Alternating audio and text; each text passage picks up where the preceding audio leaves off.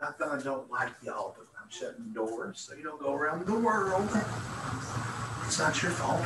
Y'all are just conducting business. I shut the door, you all go on.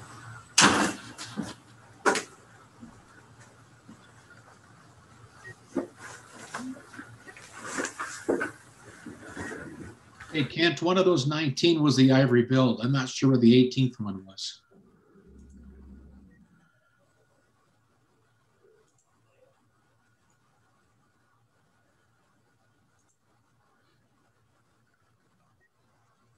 So I'm looking at the list of set that says 17. What is your resource? birdfeederhub.com, which doesn't sound that exciting and accurate. But they say there's 17, but uh, they don't mention the ivory-billed woodpecker, which is either nearly extinct or extinct. No, I would say they're extinct, but we Yeah, can't. yeah.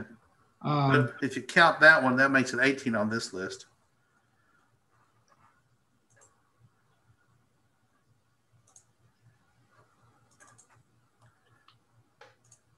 I've made reference to the National Geographic Field Guide of North America. That's I, kind, like of, you said, that's kind of the Bible, but there's doc, lots of different resources. They might have one on there that uh, is missing or taken off the list. I don't know why. It doesn't really Yeah. matter.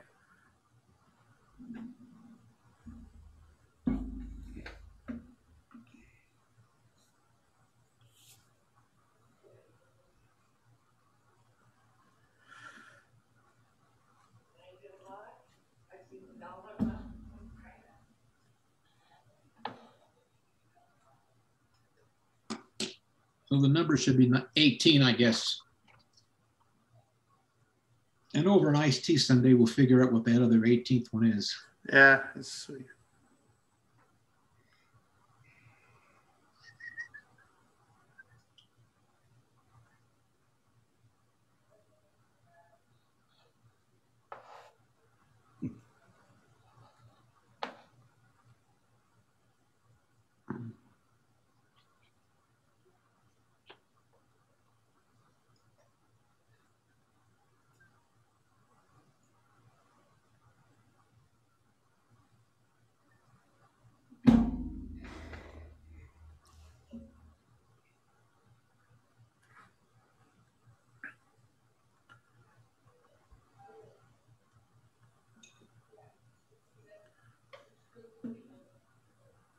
So one of the customer service guys here is in the process of building some bird feeders, some bluebird houses, and some owl Hmm. boxes.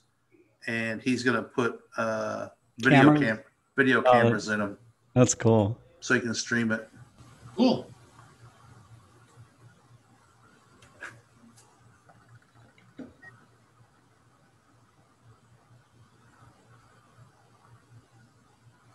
It's cool watching this hummingbird when it beats its wings forward. How Right. its it, how its feathers on its back fluff up. Huh. Good observation. Oh yeah, right. Phew.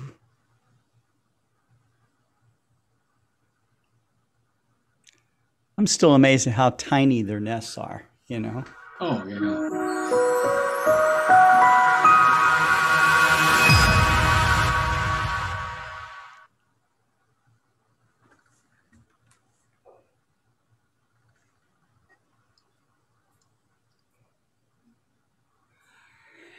Well, hello everybody. It's uh, Scott Roberts from Explore Scientific and the Explore Alliance, and uh, we have our fifth install of On the Wing with Dan George and Kent Marts. And um, what are we uh, what are we focusing on today? We are focusing on woodpeckers. All right. Let me get everything set up here because I don't really like launching all this until we get going because then I can't see my screen real well.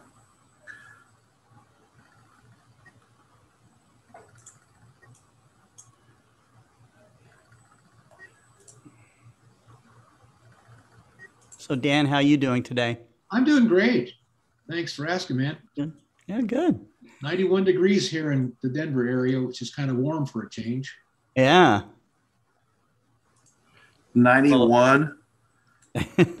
That- that's warmish. That's warmish. Uh, I'd like to recognize people that are signed on today. We've got Richard Grace and Cameron Gillis, Jeff Wise, uh, Beatrice Hines, um, Eduardo Simone, uh, Martin Eastburn, Cheryl Gibson. Cheryl Gibson says Gesundheit.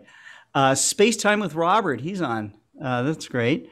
Um, Beatrice Hines, I might have mentioned. Uh, Mike Wiesner. Where's Alfred Hitchcock? Any show with birds should have him. and uh, Harold Locke, thankful for Thursday. Hello, hope all is good. Um, let's see. And who else? We got Benjamin Pike on. A perfect moment can be a universe unto itself. There you go. That's that's very Profound. true. All right, so here we go. And uh, space time with, uh, oh yeah, just space time with Robert is he's watching the Bellingham, Washington. He's watching from Bellingham, Washington. So coast to coast here, folks. That's great. Uh, and uh, Mike says, Mike Wiesner says it's only 102 Fahrenheit here in southern Arizona. Humidity is probably twenty percent, so yeah, it's, he's probably wearing a sweater. So it's a it's a dry heat like a convection oven. Yeah. Yeah, so I just point out people say, well, it's a dry heat, yes, and yeah, and you cook meat in a convection oven, and that's a dry heat with wind too. So anyway, all right, so here we go. So let's get on with uh, woodpeckers. Uh, male red-bellied woodpecker. I like this pose because Oh, it's beautiful. it's not a pose you normally see. Normally we see, and we're going to look at a few others here uh, that uh, you know um, look more, you know, with the wings folded. But I thought this was a really cool uh, pose. Uh, clearly, an eastern United States bird, basically uh, Oklahoma, uh, Kansas, parts of Nebraska, up into Minnesota, across the Great Lakes, due east to the east coast. Here comes the bird. Yeah, subscribe. Yeah.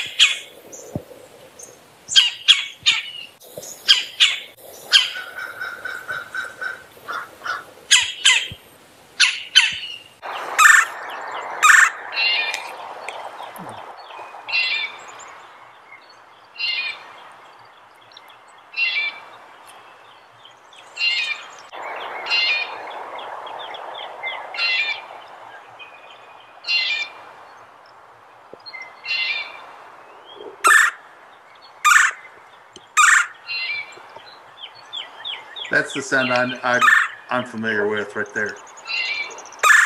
Yeah, for people that are bird watchers by ear, um, you hear that sound. Now, there's 18 woodpeckers in North America, but there's only one that makes that sound, and that's the red-bellied woodpecker, which we see right now.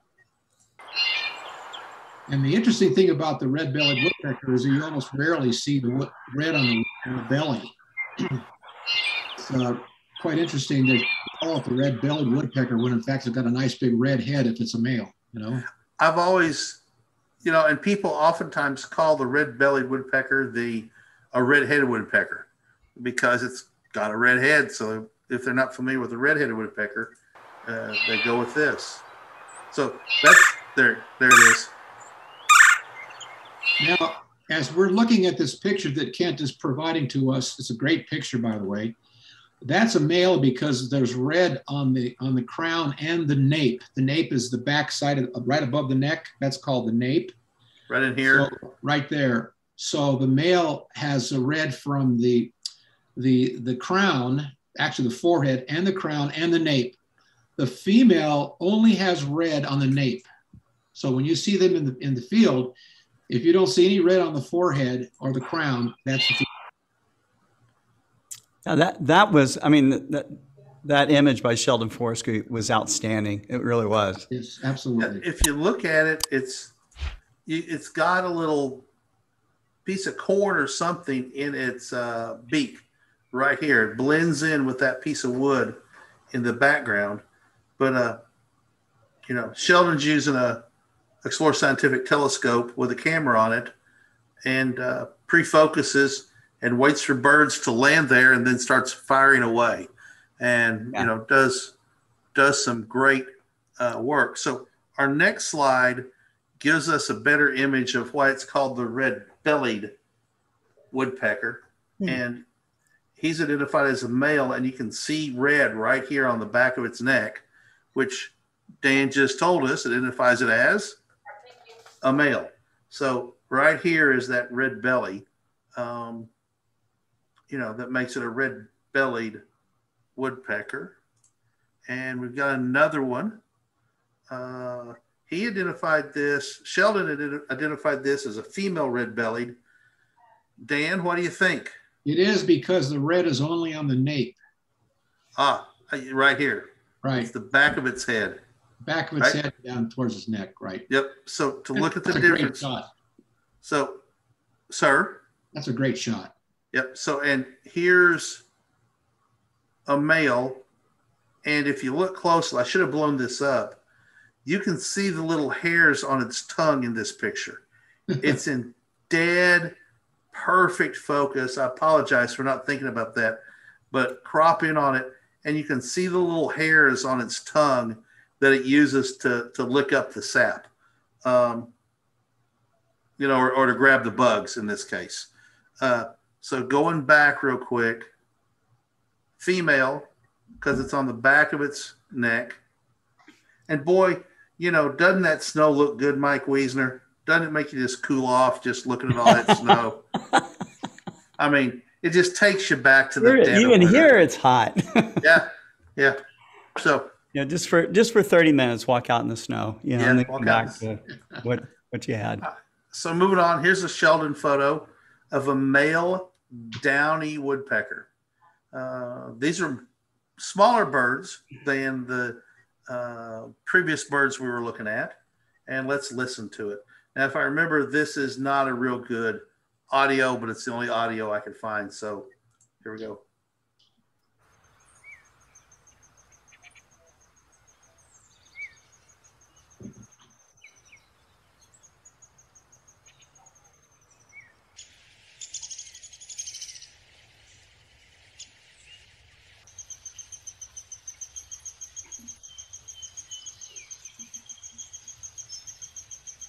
That baby's begging, isn't it?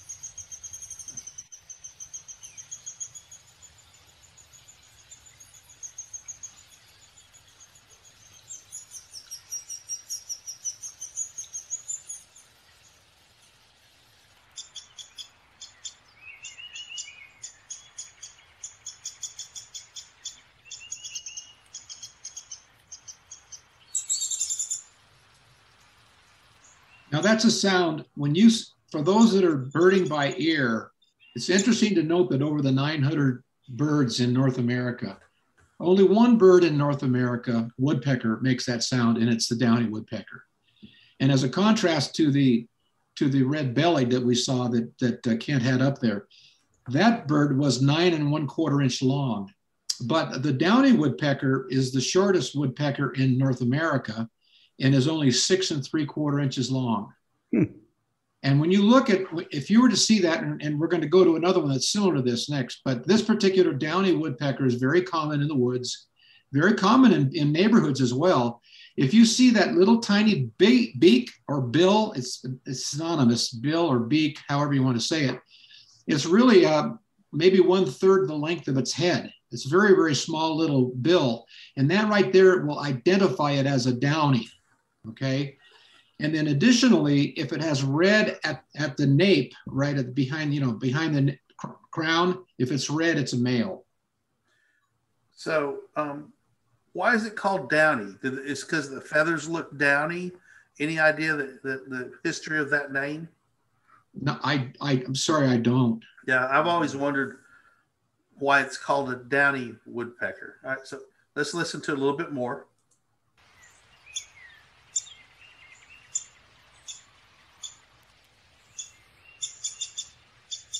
So we know that's a male because it's got red. And that's a female feeding the nest. No red, correct? I'm looking at a at a male downy. Yeah, but on the video, can you see the video? No,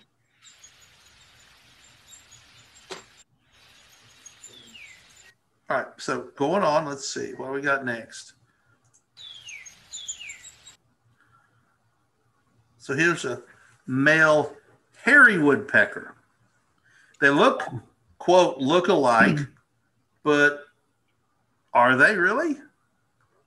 No, there's quite some some big differences. The first thing is the bill or the beak. It's almost the length of its head from the back of its head to the eye. You take that and then you superimpose that to the bill. It's a very long beak compared to the short-billed downy. So let's go back to the downy real quick and look. You know how short that that short that bill is? So we'll go forward again. It looks like not even maybe a quarter of an inch, something like that.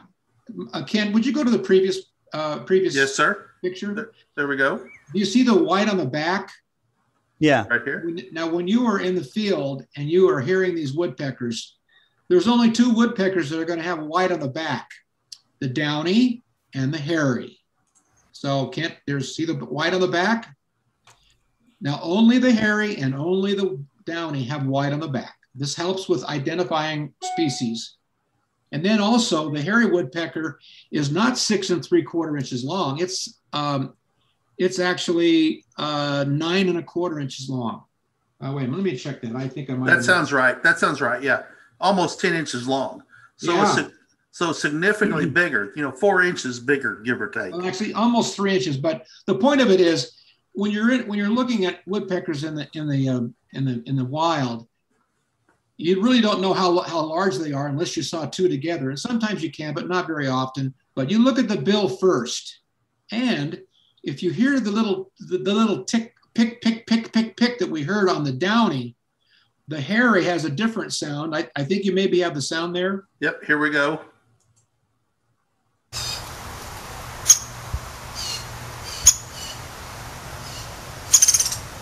Is that peak?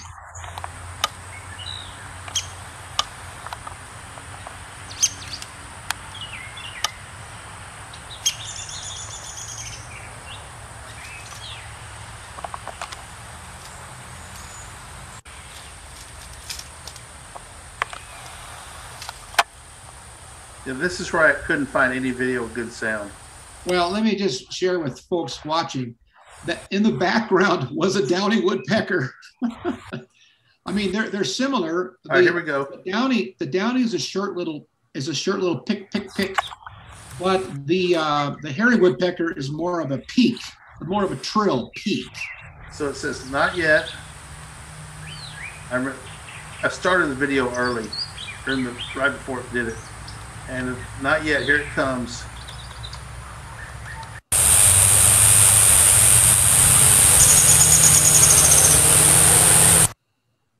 There it was.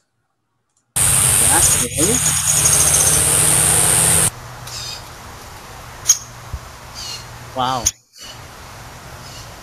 Not good sound, but you get sort of an idea. There's a lot of background noise and so many Oh, other I birds. see. I was like, Yeah. good lord. There's a lot of the birds in there too. I want to add Okay. uh, Kent, I want to add one other significant thing because for people that want to get into real bird identification, if you take a look at the picture we're looking at right now is the hairy. Take a look at the tail and look at on the edge. The outer tail feathers are all white. All right. Now, if you can go back to the downy and we'll see the tail, uh, it's yeah, it's really hard to see that he's got the arrow to uh, go to the left. You know those right there. There's like two bars, little black bar. No, go to the left. More there. Go. Okay. When you're in the field, you'll actually see more. Basically, it's a it's a white outer tail feather with, with barring, but the down the downy has the barring, but the hairy does not. See Look at that right there? There we go. perfectly white tail. But normally it's the normally it's the size of that hairy. Look how nice and big that thing is, with the white on the back and the outer tail feathers that are pure white. And this happens to be a male. Once again, if it didn't have red on the back, it would be a female. But the beak is the the big Oh, yeah. give, the big. If you've got binoculars on it, the beak is the giveaway. Yeah, and if you had one in each hand, Kent, one is like three inches longer than the other one. But when you're in the field, it's kind of hard to tell that distance. Right, because scale. We just can't tell how big things are. Okay, so going on, uh, here's a picture of a female. Perfect. Great Again, shot. beautiful shot uh, for Mike Wiesner. Cool him off. And Uh, just once again, sometimes redundancy is the best teacher. Look, he's Yep. got white on the outer tail feathers. right. There's no, bar, there's no barring. He's got white on the back. And look at the size of that beak. Most half the head, more than half the head. Yeah, more Yeah. than half a head. Right. Yeah. So Good shot. Hairy Woodpecker. The skill to take this and get it in focus and the patience displayed is astounding here. Um, to get that kind of a tight, tight, tight, highly detailed in focus. Let me add, uh, if I- could, Kent, one more thing about woodpeckers. All woodpeckers have uh, tails that are very functional because, in every case, even with their cousins, the the, the northern flicker, or um, in, in some cases um, the sapsuckers, because they're all kind of like woodpeckers, they use the tail to help them uh, support themselves when they're on a vertical branch. So they'll push it down against the tree to provide a little bit more friction. Yes, sir. Cool. Yes, sir. Okay. So here comes a cool shot. Oh, great shot. So Yeah. male hairy woodpecker because it's got the red and it's got the patch on the back and we can tell how big the beak is. And here's a juvenile and difficult to tell whether it's a male or a female. Uh, Look at because the, look at the juvenile. tail. Look at the tail of, of the juvenile. Mm-hmm. Look at Yeah. that white. Yep. And and something I was reading, all woodpeckers have four toes, except for the aptly named three-toed woodpecker, which is apparently up Yeah. in Alaska and Canada. How they came up with that name, I don't know. But oddly, and I and I've got to read up more on it. It said that all three toes face forward. So the only way it can hang, I presume, is it can't hang upside down because then it just fall off the tree because it doesn't have a anything to grip. So uh, But they do have their tail. and they do have their tail they could prop up on. So anyway, that's a cool picture. And you know, feeding a little something looks like a larvae or something. Yeah. So yeah, That's a great shot. Yeah. Great shot. I, I, I just I just don't know how much. I know he pays them in food to pose, but they pose really well for him. But he, he does pay them in food.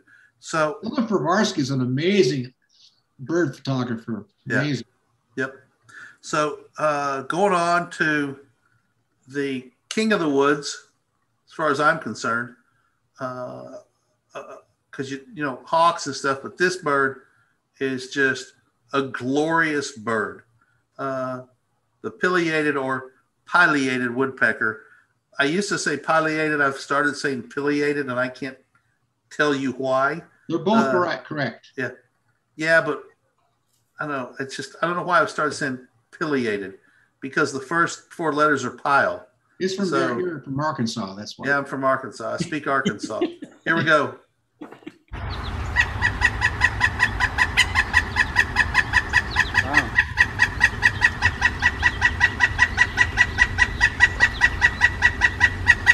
just go on and on with that call.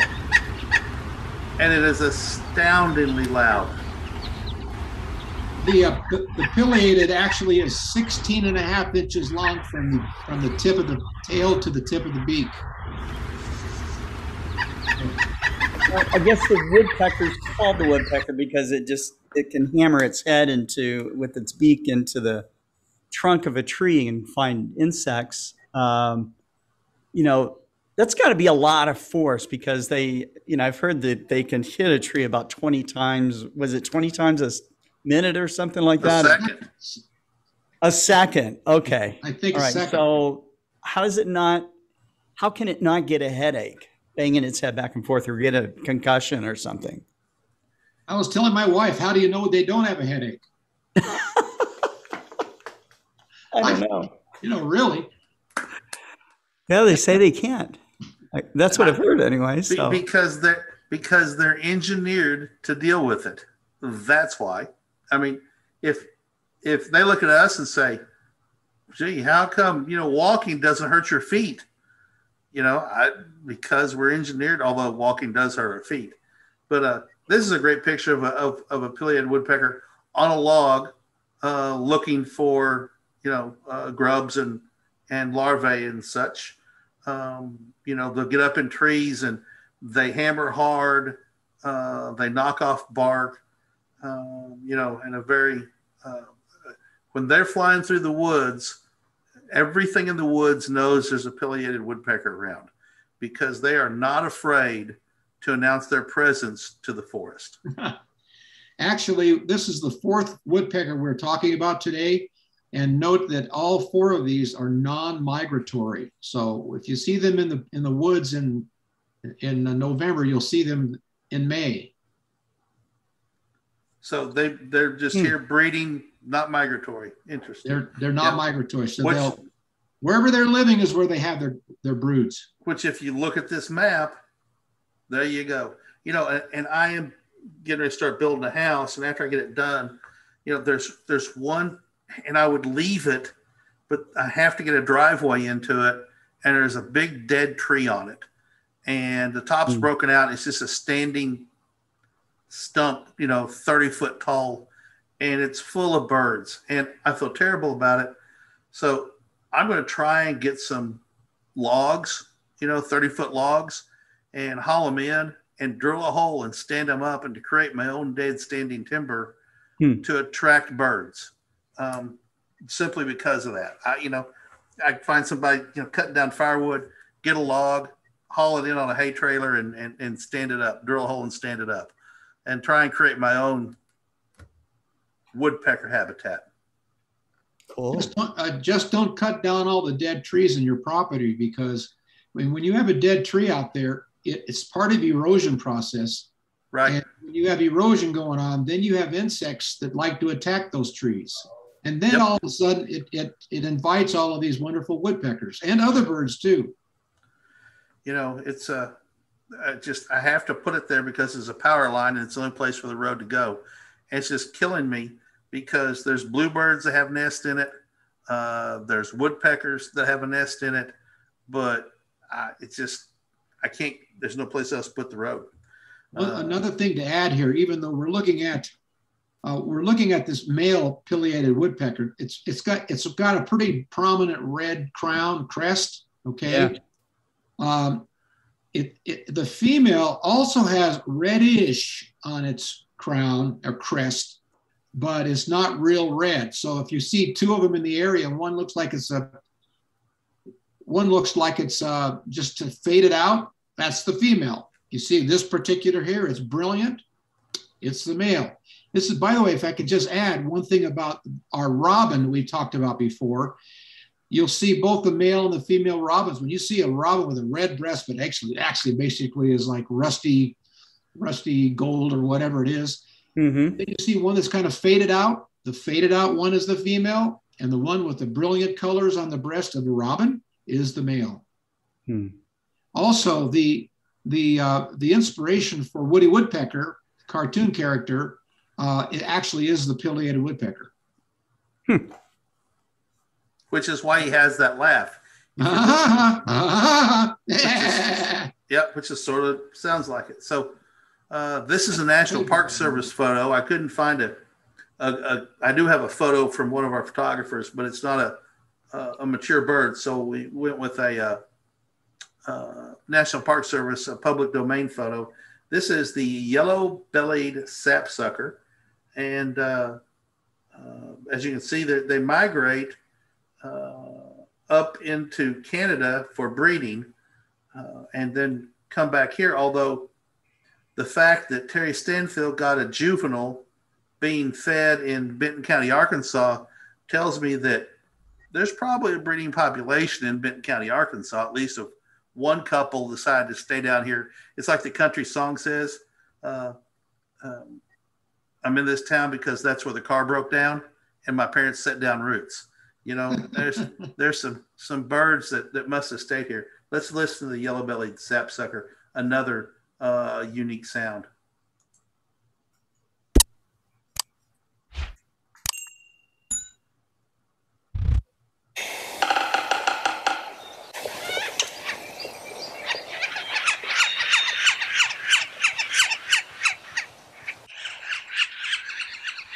Stop it there, Kent, if you can. All right.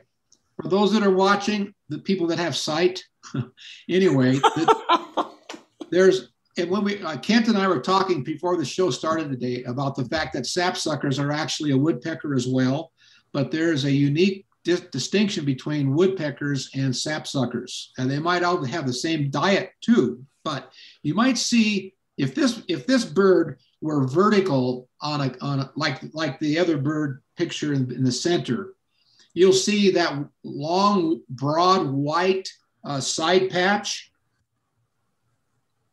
Go on the one of the movie uh, on the YouTube. You see that? Okay.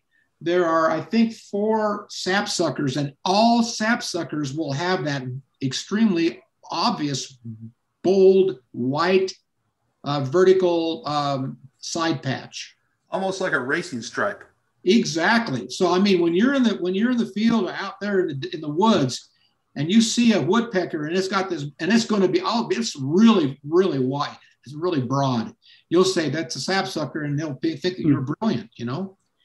And then you go on to the other things. The forecrown on the male is actually um, is red, but it has a black and white head. So it has a black and white head, but the uh, the, the forecrown or right in front of the crown is red.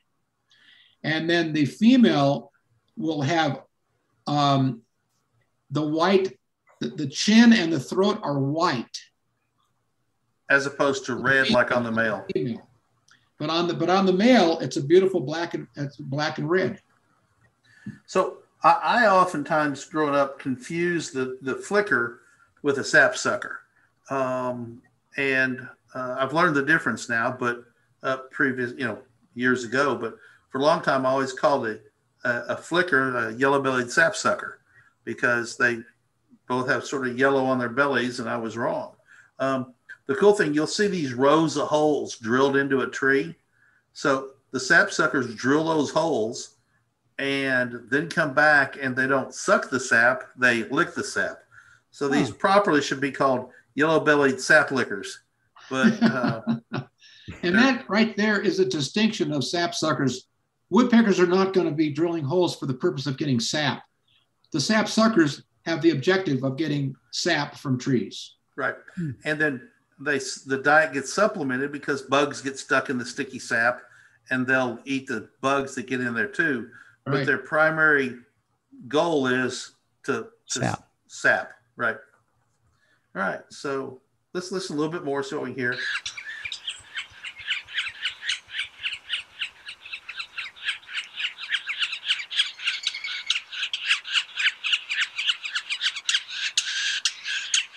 Lots of birds in this audio. Hmm. Dan, are all those is all that sound sapsuckers, or is that background noise? Well, I honestly don't know, Kent. Uh. You know, for trying to hear just a sapsucker, it's kind of hard. There's a white throated or white crowned sparrow.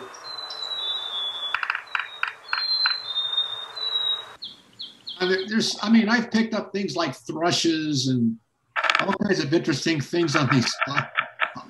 It's like, Yeah, there's just so many birds in there.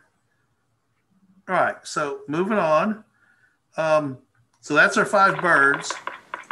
And oh no, okay. Here is the juvenile yellow-bellied sapsucker as identified by Terry, uh, by Terry Stanfill, which he shot here in Benton County. So I presume that juveniles can may have migrated back um, in the fall and winter. Um, uh, possible. yeah, this also could be a month from fledging also. And since birds will, will continue to molt and change their, their feathering, you don't see the white broad um, side patch. Right. But you And do see that. But you do see the tail giving the bird uh, support. hmm And you can also see the red starting to come out its on its forehead. That would make it a male. Well, you never know. You got to wait. Right. Let it But grow up a little bit. let it grow up. So uh, an update on the American robin nest. This was June 24th at 8 a.m. And that was June 29th at 8 a.m. And I think we'd seen that picture. and that was June 30th at 8 a.m. And um, we had a terrible rainstorm come in June 30th. And it continued at high winds. And, and uh, there's a tower here by the building that a couple of guys got caught up caught up on the top of the what do you think it is scott? A couple hundred feet tall 300 feet maybe? Yeah yeah, yeah. I, I would not i mean there's just no way i would have been up there when that knowing that that storm's coming. I uh, yeah. would imagine anybody that goes up onto a platform like that checks the weather before they go but crazy and, and they're 300 foot tall and they can see the storm coming and they're up there and it's i mean it was coming down like a fire hose. Yeah. And the wind was blowing and it was lightning and they finally came down. So I, it was rated on on uh, july the 1st so i didn't check the nest on july the 1st i came out on july the 2nd to find this. And so you know we're talking about a week and a little bit. Um, too early to fledge. And i was like oh no. And so i started looking around a little bit and um, this is the sad thing that I found uh, on the trunk of the tree. And uh, I looked in all the bushes and on the ground, couldn't find the other two. So this little thing with its eyes closed and still hadn't opened its eyes. Um, uh, you know, Mama was uh, nowhere around for a while. I finally there's the baby. It, so it, it has moved uh, probably two and a half feet because it was over on the right side of the trunk. So I circled the baby in red. And if you look closely, you can see the mama up there in the tree. Um, this is about 10 o'clock. I tried to go back a few times and never could catch her feeding it. Um, and so, you know, it was still alive when I went home on the second. Uh, came back up here on the third to pick up something real quick and uh, it was uh, dead over on the right hand side of the uh-huh. tree. And so, no place else. Uh, couldn't, like I said, I had looked for the other two. There were no no carcasses, um, you know, no bodies. So I don't know if something got into the nest and this one survived it. Uh, the, that, the, that rain that we had, I mean, I don't know if it was, uh, you know, they have things that are called rain bombs, you know, where it just comes down. It's yeah. a it's a wet microburst, is what it is, and uh, it rains so hard, and it was so uh, dense. I mean, just trying to look across even the parking lot, you, you really couldn't see across the parking lot very well. So you know, you know, we're looking at from those three up there was that was the morning when the third one hatched. So in eight days, it had gone from pink little things with some fuzz and big old round eyes to looking like a robin, you know. But it was about in my research I've done another seven or eight days, and they would have been able to fledge. Um, so you know, the cycle of life is tough um, you know, rainstorms happen, cats happen, snakes happen. Um, I've been watching the nest to see if she reclutches uh, because robins can clutch multiple times per year. So I'm hoping that she uh, uh, comes back to the nest and lays uh, some more eggs. She's got time to fledge some more babies, and I hope that happens. And uh, we'll just continue that journey if it happens. If not, there's a uh, um, empty robin's nest that'll uh, stay through the winter and disappear sometime next summer, I guess, when it finally falls apart. You know, so, I could uh, here here in the Denver area. I'm in Castle Rock, about 30 miles south of Denver, and a lot of robins uh, springtime and even early summer. And uh, when they finally do when they finally do fledge, you kind of wonder how they ever got down there because uh, they almost look like this photo from July 2nd um, and, and maybe maybe a day or two after that, they change so much, and they make a they make a certain sound. I, I wish I could give you the sound. They make a certain sound to communicate with the adult, so that the adult knows that the baby's there. And these adults spend all day long for several days feeding these babies. So let's take a positive spin on this. Storms happen, cats and snakes happen, but these birds have ways of reappropriating. Yeah, Mhm. and you know, cl- clearly there's lots of robins out there. Yeah. You know, so you know, I felt bad about it. I I started to put it back in the nest, and I thought, no, you know that that's not going to probably help anything. no, you're right. Um, You're right. You know, um, Mama, because it wasn't making a sound. I I I, I listened and and uh, you know I, I got this picture across the parking lot, zoomed in with my phone. Uh, you know, and uh, and make my phone quit ringing. And um, uh, she just, when I was out there, she knew I was there and would not go over there uh, to feed it. So I just tried to stay away. But, you know, um, like I said, the other two were completely gone, just disappeared. So hard to say what happened. They might have been in bushes somewhere and I just didn't see them.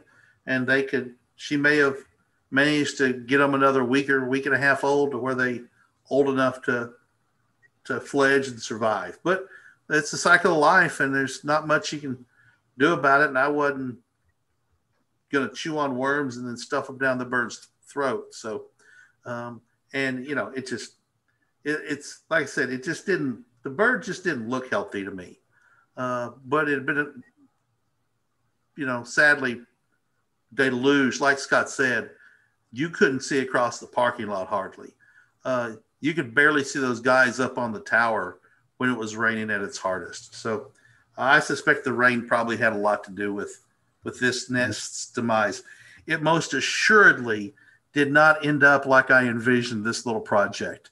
You know, I had hopes of joyously watching these birds, you know, hop around and become, you know, semi-mature juveniles, and nope, not to happen. So next week, we're on the wing. Next week, we're in flight. So uh, little little heads up on what we're going to talk about. Um, we'll be looking at birds that are in flight, um, which will be interesting. And then I'm changing the order. I had a plan for the week after that, but the week after that, uh, a number of our um, viewers have sent in birds of their own. I've got some really cool pictures uh, that we'll be doing a viewer submitted um, uh, pro, uh, slideshow. So I look forward to that. Let's do it. Yep. Let's do it. All right. So, any, anything else that uh, anything else that we should uh, discuss about woodpeckers? I mean, is there something that uh, If you want woodpeckers, you have to have standing dead timber. That's it? Huh? That's that, that's it. If you don't, if you live in the prairie where there's no trees, you're not going to have woodpeckers. You've got to have trees, and you know what? Well, standing dead timber for certain species, uh, like red-headed woodpeckers, but you've got to have trees to have woodpeckers.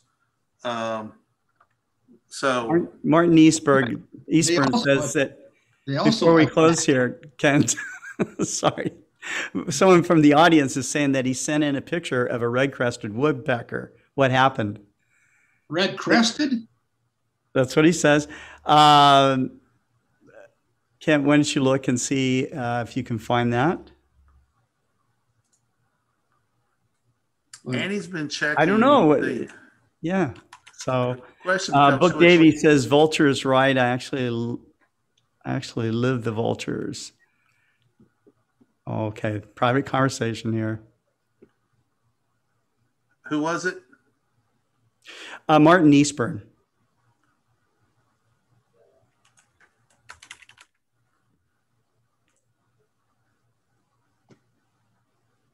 By the way, uh, woodpeckers also peck houses. I mean, you, Oh, you always hear people complaining about those darn woodpeckers and they're drumming on my house. yeah. And It's they're always looking for insects that might be, you know, half an inch underneath your siding. I didn't use it because it's only 740 kilobytes. Uh, it's very small. It's a thumbnail, basically. Why don't you show it Um, anyway? I'm working on it. Okay. Um, it is a pileated woodpecker. Yeah, the name of the file is actually thumbnail red crested.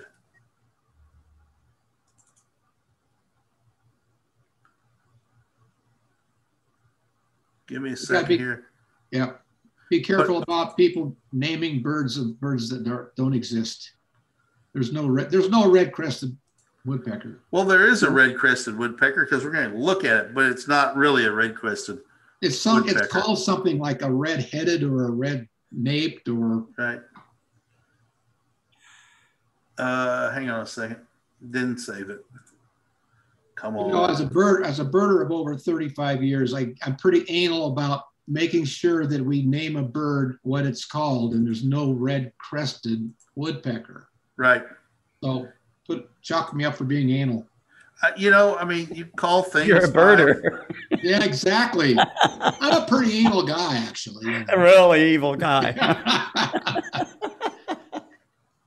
oh man. There it is. All right. Let me see if I can get it to open up here.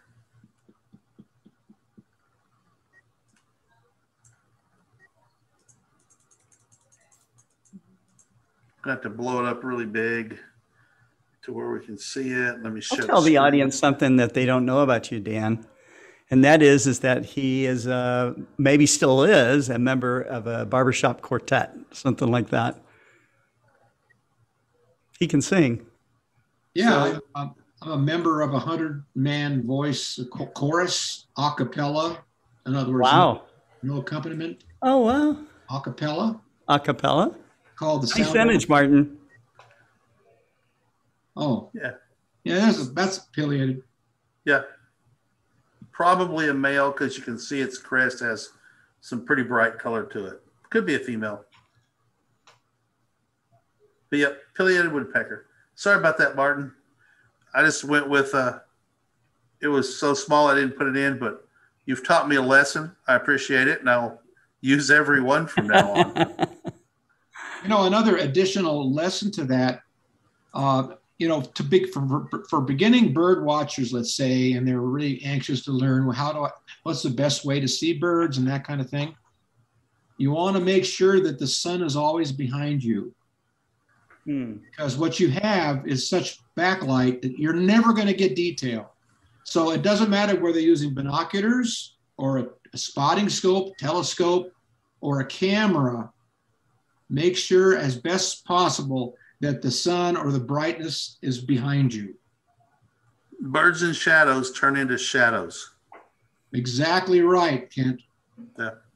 You know it's uh anytime you try and you can't you just can't pull detail. My photography background it is impossible to pull detail out of a shadow area many times especially color.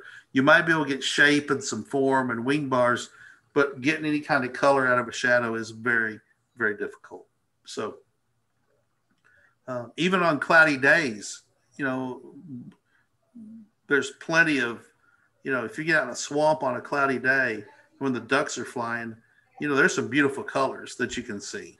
Uh, easy to see green winged teal and blue winged teal and tell the difference. Um, mallard heads just shine, but boy, when you get sun on those birds and those feathers, they just explode with beauty. Yep. Just explode with beauty. But even if it's a cloudy day and you're looking into the sun, it takes just it takes away from the color. Yep. May the sun always be behind you.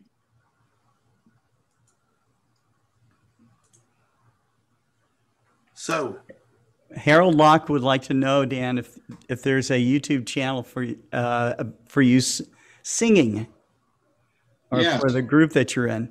Yes, go to the Sound of the Rockies, as in the Rocky Mountains. And you can go on to YouTube, and they probably have 25 or 30 or 40 different songs. Just listen to them. barbershop quartet or concert. Okay. To correct that, quartets have been spawned out of the out of the uh, choruses. The choruses are could be Yeah, there's more than four 20, people. That's 30, for all the way up over a 100. Yeah. Yeah. Um, okay. The sound is actually pretty re- unbelievable. If you've never heard a barbershop chorus, it's something to behold. Love it.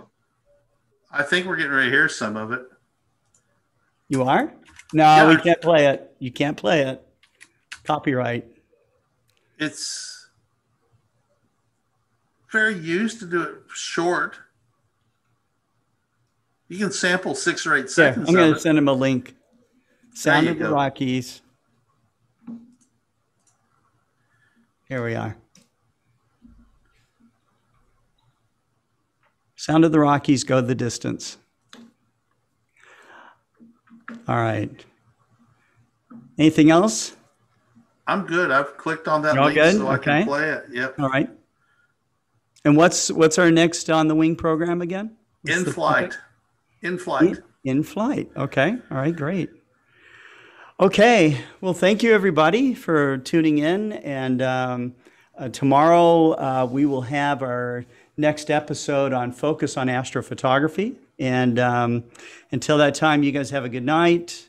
Uh, Dan, thanks very much for uh, being on our program as as usual, and Kent for preparing all the the uh, uh, images and and sounds of, of birds, and um, and to the audience for uh, hanging in there with us every day. So thanks so much, and um, uh, until tomorrow, we'll see you later. Take care. Bye. Bye, everybody. Bye.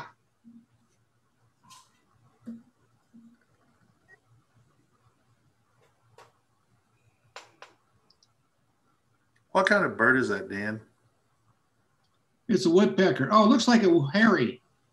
But it has a red rump. Oh, it's got a wait a minute. It's got a white bar on the on the sides. It looks like it's a sap sapsucker.